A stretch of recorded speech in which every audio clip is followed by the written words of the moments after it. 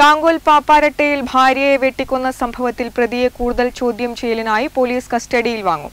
കോടതിയിൽ ഹാജരാക്കിയ പ്രതിയെ റിമാൻഡ് ചെയ്തു. കഴിഞ്ഞ ദിവസമാണ് ബമ്മാരടി കോളനിയിലെ പള്ളിക്കുടിയിൽ ഷാജി ഭാര്യ കെ വി പ്രസന്നയെ കഴുത്തറുത്ത് കൊന്നത്.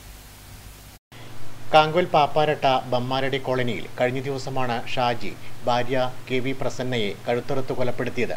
സംഭവത്തെ തുടർന്ന് പയ്യന്നൂർ പോലീസിൽ ഷാജി കീഴടങ്ങുകയായിരുന്നു. സംഭവം പെരിങ്ങോം പോലീസിന്റെ പരിധിയിലായതിനാൽ ഷാജിയെ പിന്നീട് പെരിങ്ങോം പോലീസിന് കൈമാറി.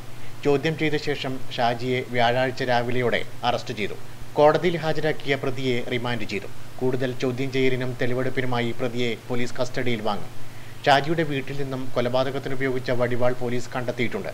കസ്റ്റഡിയിലെടുത്ത ആയുധം ഫോറൻസിക് പരിശോധനയ്ക്ക് വിധേയമാക്കും. പെരിങ്ങം സ്റ്റേഷൻ ഇൻസ്പെക്ടർ പി സുഭാഷിനാണ് അന്വേഷണ ചുമതല. Network news Payyanur.